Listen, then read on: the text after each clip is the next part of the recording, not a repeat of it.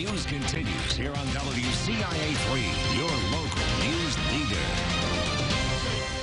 It's been a year for teachers, and it's my first year teaching, too.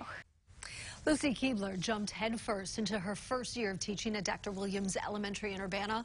Just two months in, she was thrown a big curveball. Today, as we kick off Teacher Appreciation Week, we are recognizing teachers like her who continue to set students on a path for success no matter their own setbacks.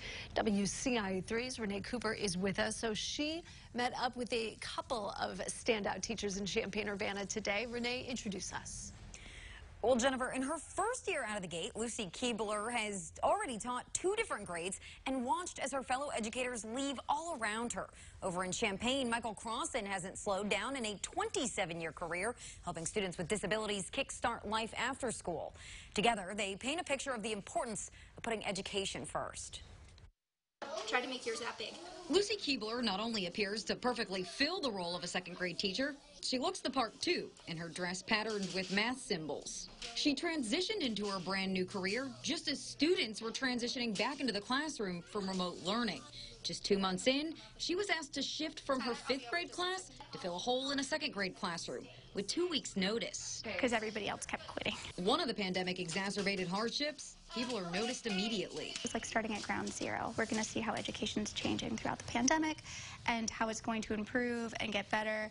And a lot of what we learned, I even question if it's going to matter because we are learning with our students, and there's something really rewarding about that. She says she's the third teacher in this classroom this year. She's learned elementary schools in particular are full of kids who are already behind. My goal as a second grade teacher, since they were kindergartners when the pandemic started, is to inspire a love of learning because for some of them, it's just something they've dreaded for years. Over in Champaign, Michael Crossan helps students with disabilities get settled into the workforce as their school career comes to a close. I help students uh, figure out what they might want to do, and, uh, and we have lots of great community internship sites, and so we go and we learn those job skills. For 27 years, he's been an integral part of the Young Adults program, pairing students with jobs at the library, grocery stores, or wherever might fit.